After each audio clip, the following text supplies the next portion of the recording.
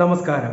എല്ലാ മാന്യ സുഹൃത്തുക്കൾക്കും സിനിമ സിനിമ എന്ന യൂട്യൂബ് ചാനലിലെ ഏറ്റവും പുതിയ വീഡിയോയിലേക്ക് സ്വാഗതം. വേണു കുന്നപ്പള്ളി എന്ന് പറയുന്ന പ്രൊഡ്യൂസറെ നമുക്ക് എല്ലാവർക്കും അറിയാം. മാമാങ്കം എന്ന് പറയുന്ന സിനിമ പ്രൊഡ്യൂസ് ചെയ്തു വന്ന ഒരു പ്രൊഡ്യൂസറാണ് വേണു കുന്നപ്പള്ളി. ആ ഒരു സിനിമ പ്രൊഡ്യൂസ് ചെയ്തു എന്നതിനേക്കാൾ അപ്പുറമായിട്ട് ആ സിനിമ ഉണ്ടാക്കിയ വിവാദങ്ങൾ വലിയ വലിയ കാര്യങ്ങൾ കേസുകൾ കാര്യങ്ങളൊക്കെ ആയിട്ട് വലിയ രീതിയിൽ തന്നെ ചർച്ച ചെയ്യപ്പെട്ട ഒരു പേരാണ് വേണു കുന്നപ്പള്ളി എന്ന് പറയുന്ന പ്രൊഡ്യൂസറുടേത് എന്നാൽ ആ സിനിമ റിലീസ് ചെയ്തു കഴിഞ്ഞാൽ അദ്ദേഹം ആഗ്രഹിച്ച രീതിയിലുള്ള ഒരു സ്വീകാര്യത ആ സിനിമയ്ക്ക് കിട്ടാതെ പോയതോടുകൂടി വീണ്ടും വേണു കുന്നപ്പള്ളി എന്ന് പറയുന്ന ഒരു പ്രൊഡ്യൂസർ സോഷ്യൽ മീഡിയയിലൂടെ വലിയ രീതിയിലുള്ള അധിക്ഷേപങ്ങൾക്ക് വിധേയമാവുകയും ചെയ്തു. എന്നാൽ ഇതിനെല്ലാം തകിടം മറിച്ചുകൊണ്ട് ഞെട്ടിക്കുന്ന ഒരു വിവരമായിരുന്നു ഒരു മാസം മുമ്പ് പുറത്തു വന്നത്. അത് വേറെ ഒന്നുമല്ല മമ്മൂട്ടിയും വേണുകുന്നപ്പള്ളിയും വീണ്ടും ഒന്നിക്കുന്നു. പുതിയ ഒരു സിനിമയ്ക്ക് വേണ്ടി ഒന്നിക്കുന്നു എന്നുള്ള വാർത്ത. അതും വലിയ രീതിയിൽ വാർത്തയായി. അങ്ങനെ വീണ്ടും മമ്മൂട്ടി ആരാധകരെ സംബന്ധിച്ച ഒരു ഒരല്പം നല്ല ഒരു കാര്യമായിരുന്നു. കാരണം മാമാങ്കം പരാജയപ്പെട്ടു എന്ന് വാദിക്കുന്നവർക്ക് മുമ്പിൽ പിടിച്ചു നിൽക്കാനായിട്ട് വീണ്ടും അതേ പ്രൊഡ്യൂസറും അതേ നായകനും ഒന്നിക്കുന്നു എന്ന് പറയുമ്പോൾ തന്നെ നമുക്ക് ഊഹിക്കാം മാമാങ്കം എന്ന് പറയുന്ന സിനിമ സാമ്പത്തിക പരാജയമല്ല എന്നുള്ളത്. എന്നാൽ ഇപ്പോൾ വീണ്ടും വേണു കുന്നപ്പള്ളി എന്നുള്ള പേര് വിവാദത്തിലാവുകയാണ്. അതും മമ്മൂട്ടിയുടെ പേരിൽ തന്നെയാണ് വിവാദം വന്നിരിക്കുന്നത്. സംഭവം വേറെ ഒന്നുമല്ല. വേണു കുന്നപ്പള്ളി എന്ന് പറയുന്ന പ്രൊഡ്യൂസർ തന്റെ കാവ്യ ഫിലിംസ് എന്ന് പറയുന്ന കമ്പനിയിലൂടെ അടുത്ത പടം ഇപ്പോൾ അനൗൺസ് ചെയ്തിരിക്കുന്നു. ഇന്ന് അനൗൺസ് ചെയ്തിരിക്കുന്നു. അതിലെ നായകനായി വരുന്നത് മമ്മൂട്ടിയല്ല. പകരം ജയസൂര്യയാണ്. സംവിധാനം ചെയ്യാൻ പോകുന്നത് ജോഷിയാണ്.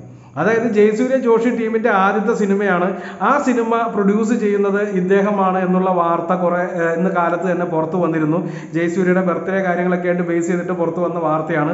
എന്ത് തന്നെയായാലും ഈ വാർത്തയാണ് ഇപ്പോൾ സോഷ്യൽ മീഡിയയിലൂടെ മമ്മൂട്ടി ഹേറ്റേഴ്സ് എടുത്ത് അർമാദിക്കുന്നത് എന്ന് തന്നെ പറയാം.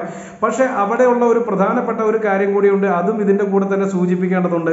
കാവ്യ ഫിലിംസിന്റെ രണ്ടാമത്തെ പ്രൊഡക്ഷനാണ് ഇത് എന്നാണ് അതിനകത്ത് എഴുതിയിരിക്കുന്നത്. അല്ലാതെ അവർ മമ്മൂട്ടിയെ വെച്ച് പടം പിടിക്കുന്നില്ല എന്ന് ഇതിനകത്ത് എഴുതിയിട്ടില്ല എന്നുള്ളൊരു കാര്യം എടുത്തു പറയേണ്ടതാണ്. കാരണം ഇങ്ങനെ വാദിക്കുന്ന ആളുകൾ അറിഞ്ഞിരിക്കാൻ വേണ്ടി പറഞ്ഞതാണ്. കാരണം മമ്മൂട്ടി ചിത്രം ഈ അടുത്തെങ്ങും വരില്ല എന്നുള്ളൊരു കാര്യം നമുക്ക് ഓർപ്പിക്കാവുന്നതാണ് കാരണം പുഴു എന്ന് പറയുന്ന സിനിമ ഇപ്പോൾ അവിടെ നിൽക്കുന്നുണ്ട്. പുഴു കഴിഞ്ഞു കഴിഞ്ഞാൽ ഒരു ചെറിയ ഗ്യാപ്പിനുള്ളിൽ ഒരു തെലുങ്ക് പടം ചെയ്യുമെന്നുള്ള ഒരു വാക്കു വാർത്ത കേൾക്കുന്നുണ്ട്.